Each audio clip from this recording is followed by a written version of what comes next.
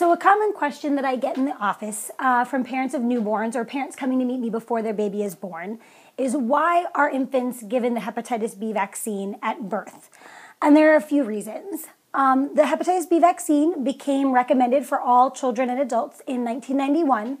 Um, and the reason we recommend it for infants is that 90% of infants who contract hepatitis B from their mother will become chronic carriers.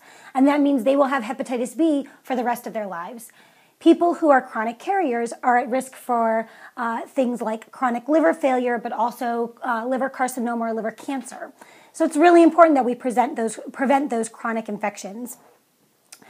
So most mothers will tell me, well, that's great, but my OBGYN did the hepatitis B tests and I was negative, so my baby shouldn't need to get the vaccine. And that's an understandable opinion and understandable feeling. This is why we still recommend it for all infants.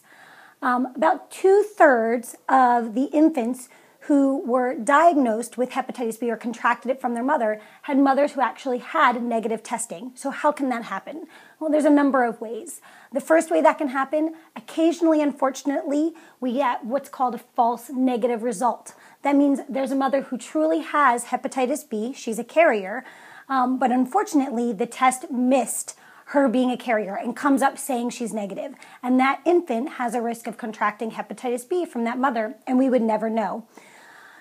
The second instance is that unfortunately, sometimes tests are ordered uh, incorrectly, either by the ordering physician or the test is run incorrectly in the laboratory. So that means either the OBGYN orders the wrong test on mom, that test may come back negative, but may not be an indicator of whether mom is a true hepatitis B carrier.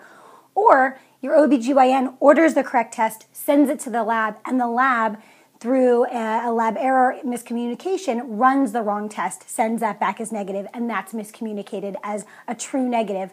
Um, but the child is still at risk because mom is truly a hepatitis b carrier. About four to 5,000 children every year actually contract hepatitis B from their mother, uh, and the majority of those moms had absolutely no risk factors.